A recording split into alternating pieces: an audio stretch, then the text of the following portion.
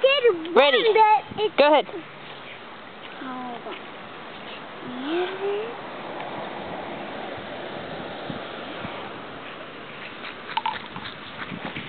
Darn it, two. Maybe. Put in two. Hmm. Okay.